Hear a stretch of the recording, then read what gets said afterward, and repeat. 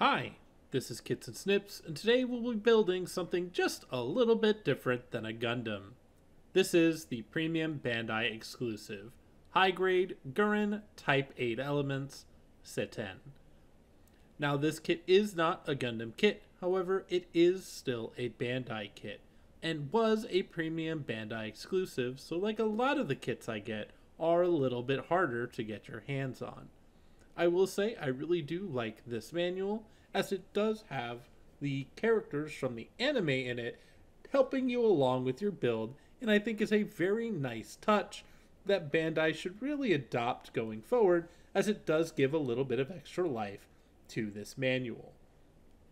When it comes to this kit with the effects, the two translucent wings are very nice and do come in their own separate bag, though I will say they do love to keep fingerprints on them so do be aware of that going forward. It also includes more than just your standard style decals and also includes a gem style decal for the actual hand in the unit, which does come up later. But with all that being said, let's get into that build.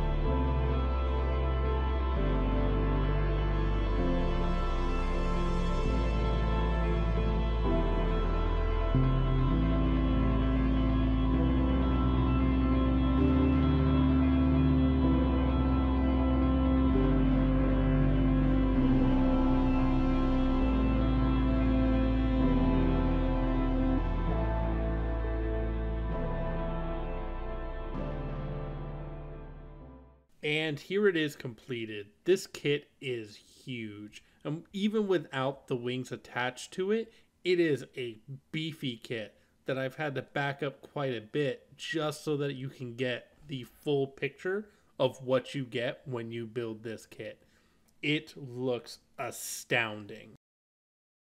When it comes to size, this kit is bulky. He has massive shoulders, he's taller than the RX 78, he's wider than the RX 78. He is just overall very dominant to the RX 78 when it comes to size. However, these two don't really match up in scale, so it's not a good representation of what the two would look like if they were in the same universe. But its size isn't the only amazing thing about this kit, as it does have a lot of options for its posability, including an extension for its arm that allows its claw to go further out so it can grab onto things. Or if you prefer something a little more high octane, you can drop down the wheels in the back of the legs and attach the secondary wrist that does have a couple of bars that act in the anime as a heating element that makes the hand shoot out a blast of heated energy, though this doesn't have an effect part for that type of situation. And if all that wasn't enough, it can even detach the claw and attach it to an action base with a wire it even has two other javelins mounted to its shoulders it can have in a launching position attached to a black wire as well. This kit is extremely versatile, and I haven't even got to the main selling point yet. That being the wings, they're just so nice with the clear red and it hits the light good, and it's just, it's a really just good look for this kit. And accessory I forgot to mention, of course, is the heat dagger that I have in the hand there now. It just really is a nice kit to really just have. And while I did enjoy this kit a lot, I would be remiss not to talk about some of the issues it does have, including the wheels in the back of the legs. They are attached only by a ball joint and do have some issues if you are moving the leg about as they're not properly connected to the leg so it's not one cohesive piece. When it comes to the wings as well, the arms are very stiff and it only has two real good points of articulation, and you have to struggle a bit to get the wings in certain poses. But outside those two minor issues, I would say this kit is a definite purchase for anyone that does like Code Geass or is looking for a kit that is just a little bit different than your standard Gundam build, but still has good quality. Music for this video was once again brought to you by Uppbeat, not sponsored, with the song Absorbed in a Point by Orange and Mountains. Link to the music, as always, will be in the description, so show the artist some love. And as always, thank you so much for watching the video. If you leave a like, it does help the channel grow and bring my videos to more people, and subscribe if you do enjoy as well, so you can see more videos as they come down the pipeline.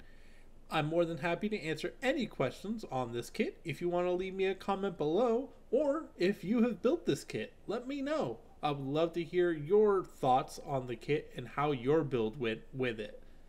Either way, thank you so much again. This is Kits and Snips saying, have fun building.